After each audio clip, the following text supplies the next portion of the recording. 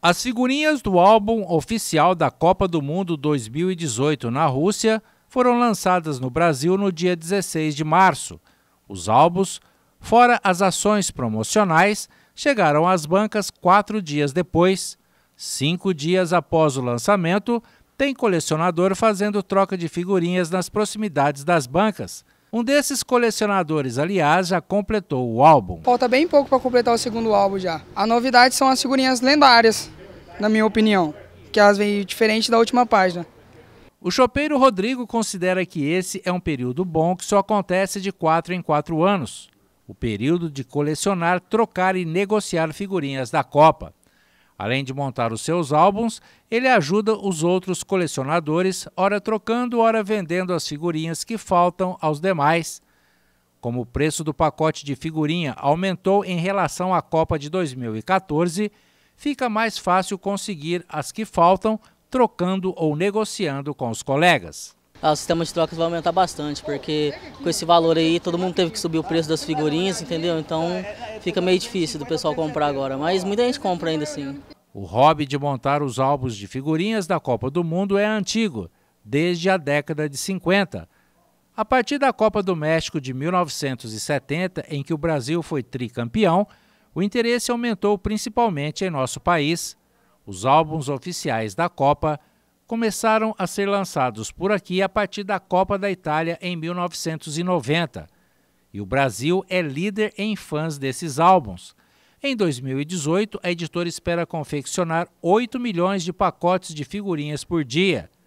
Nas últimas Copas, o interesse pelos álbuns aumentou em todas as faixas etárias, surgindo o fenômeno dos pontos de troca de figurinhas entre os colecionadores. Um dos álbuns mais raros do mundo é o oficial da Copa do México de 1970, que não chegou a ser lançado no Brasil.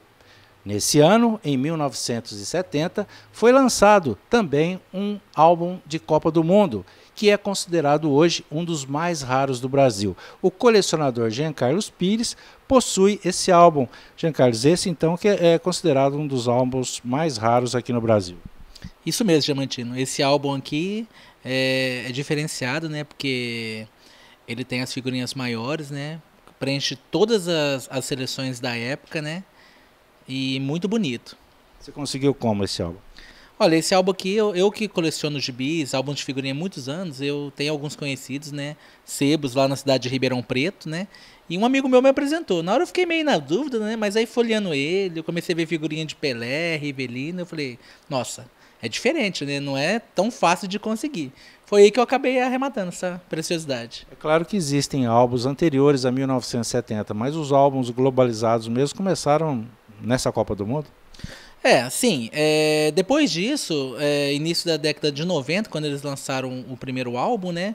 Foi entre parceria entre a editora Abril e a Panini. E aí deram sequência onde virou essa tradição. Inclusive, eu tenho algumas, alguns álbuns diferentes, né? Por exemplo, esse álbum aqui, esse é o da Copa de 2014. Brasil. Sim, no Brasil. Aquela maior febre, eu comprei pela internet, né? Veio com caixinha, o espaço para colocar a figurinha repetida.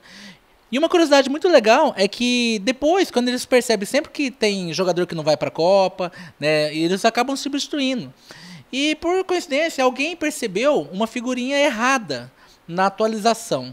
Percebeu que havia colocado a foto do irmão de um jogador da Colômbia. E somente quem entrava em contato pelo Facebook, que eles mandavam a figurinha correta do jogador. Que é o jogador? Que é o jogador, o Éder Balanta. E a figurinha que está na atualização, na verdade, é do irmão dele.